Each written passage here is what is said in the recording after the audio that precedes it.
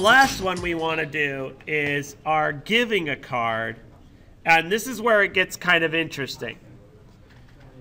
Because if we're going to give a card, we have to decide should we be able to give a card we don't have or not? And is it the job of the hand to determine whether we have that card or not? And if we don't have the card, what are we going to do if we don't have it? So we could do any number of things. We could make this a Boolean uh, method that sends out true or false, like true if we are able to send the card, false if we're not. We could also throw an exception that basically basically is going to uh, indicate that there is no card. Or we can just assume that it's going to be dealt with, no pun intended. Get it? Dealt with. Okay, maybe pun a little bit intended. All right, sorry. It, it can be hard. Um, anyways, not throwing these puns out there. So we really have to decide how we're going to frame this. And there is no one right way to do it. So let me show you one way that I've done it and we're going to make it, uh, we're going to make this method return a Boolean value. So if it's unsuccessful, we're going to return a false. If it's successful, we're going to return a true. So we're going to want to know if we're able to deal a card or not. We're going to call it give. So when we give a card, we need to identify what card are we trying to give and whose hand are we giving it to. So we're going to put a card here, and then we're going to oh, send it to a hand. And we'll call it the other hand. On the other hand, get it? Then okay, sorry, I, I did, sorry. There's no excuse for that one. All right, so the first thing we want to do, we want to see if the card exists.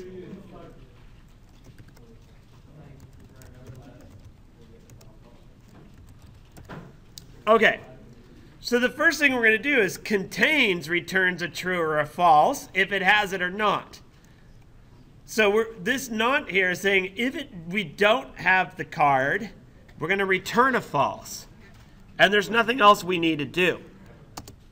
Now, it's up to you. Do you want to make it, if it doesn't have the cards, return a false, or do we want to check to see if we do?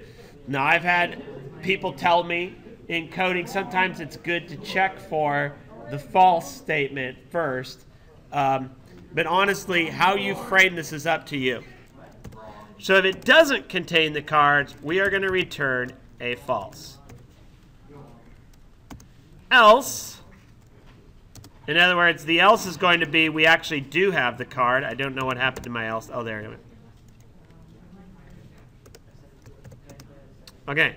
Else, now here comes the hard part. If we're going to give a card, uh, I want to remind you that in order to remove a card, we have to remove by index. So we have to get index position of card.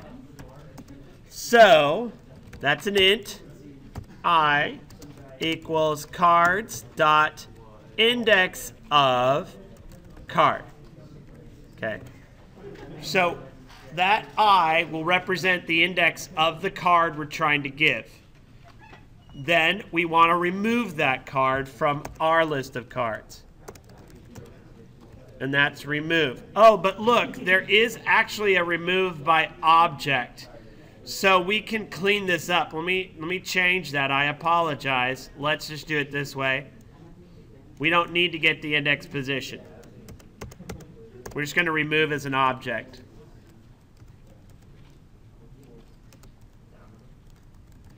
So we'll just go ahead and remove the card. And on the other hand, get on the other, on the other, okay, sorry, fine. We're gonna add our card. Oops, here. There we go. There you go. So, and of course, we want to return true. In other words, we were successful. We were able to give the card. Okay. And that is how we're going to start with our hand.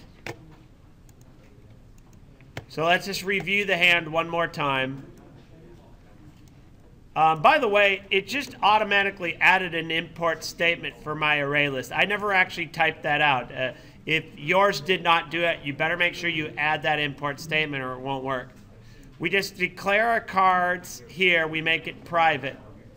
And then our hand here, um, when we construct our hand, we create our list of cards. And clear, we just clear out all our cards. Add, we just need to know what card we're adding, and we add it. And then show hand, we're going to create a string that loops through each of our cards. Um, I should also put in a um, new line here.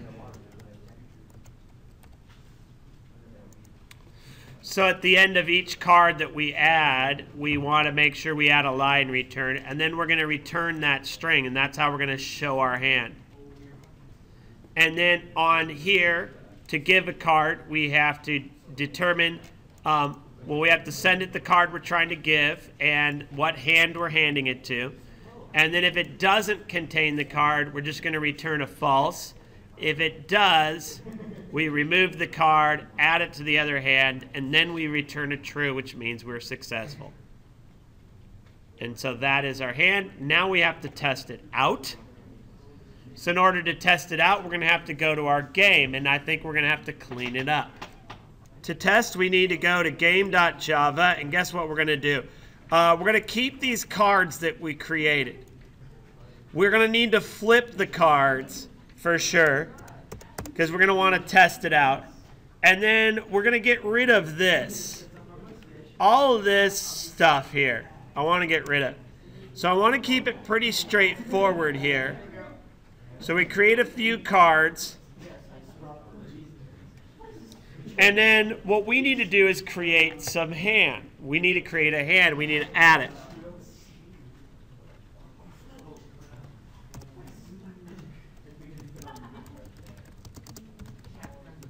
So it's hand.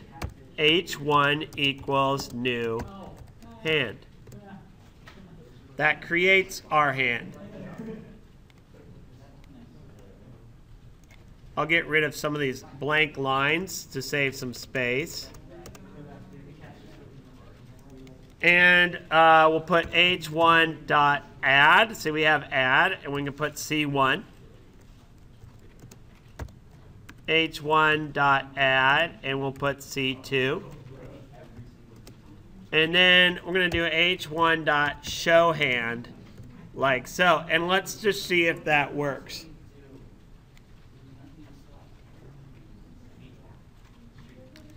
so notice how much easier it is once we've got our hand dealt with. I did it again. And we go to run it and oh I don't like that. Oh, that's because show hand is not technically showing the hand now, is it?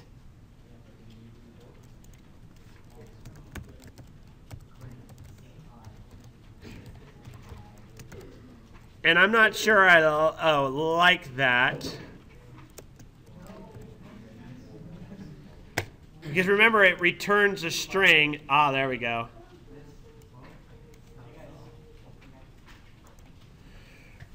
Um, yeah, show hand is not actually displaying it. So it's returning a string. So I'm wondering if I want to rename it to print hand. Um, or we could even do a system.out. I kind of like having it return a string, though. I think that's the right way to go. It's just that could be counterintuitive that you actually have to print it out like so. But at least we've tested that that works. And so all we really need to do now is we can try adding another hand.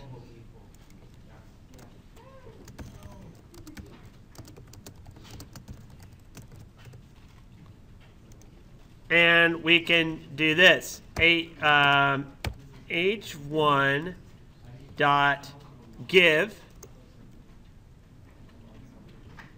And we can do C1 to H2, our other hand.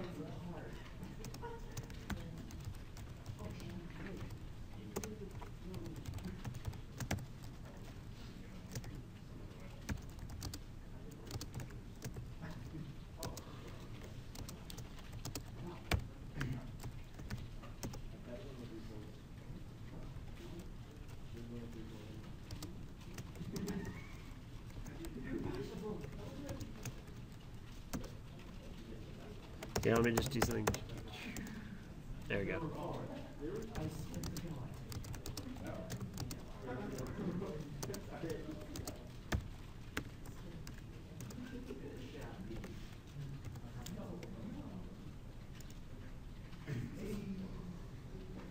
So hand one is now Jack of Hearts. Hand two is now Ace of Hearts because we gave Ace of Hearts from hand one to hand two.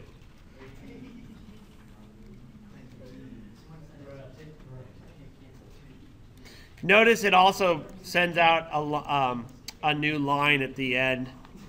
That's kind of annoying. Okay, well, at this point, we've pretty much, you know, demonstrated we can work a hand. We can create a new hand. We can add cards. I didn't remove any cards yet. Um, but we can clear out a hand if we want to as well. And we can test all that out. It's not a bad idea. Um, so we can try an h1 dot clear like so. We can run it again. And now h1 shouldn't show anything. Hand 1 is basically cleared. So we have add, give, clear. Uh, let's look at our hand. Um, show hand, we also use that. So basically, that's all of our methods that we have. And um, in the next video, I want to show you how to create a deck and start dealing with the deck of cards. Um, and that will take a little bit, that might even take two videos to do it.